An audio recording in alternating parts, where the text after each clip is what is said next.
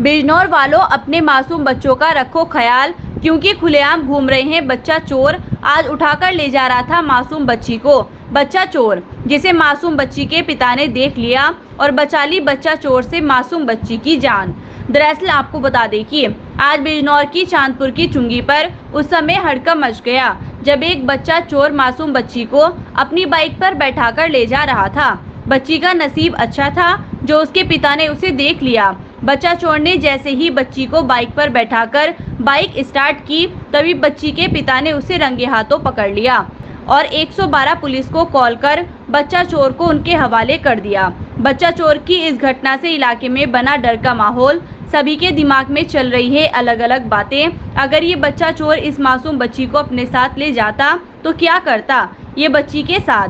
सभी लोग खबर को आग की तरह फैला दो दबा के शेयर करो ताकि बिजनौर के लोग हो जाएँ इन बच्चा चोरों से सतर्क ताकि किसी के बच्चे का ना हो अपहरण। चैनल को सब्सक्राइब करें फेसबुक पर देख रहे हो तो फॉलो करें। क्या नाम है तुम्हारा? क्या मामला है?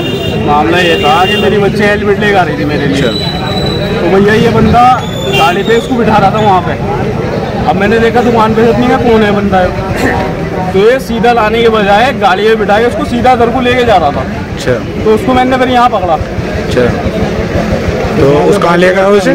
बाइक पे बाइक पे बैठा के ले कहाँ ले गया उसे? अब पुलिस आई थी सौ नंबर को फ़ोन करा था। वो लेके जा रही है।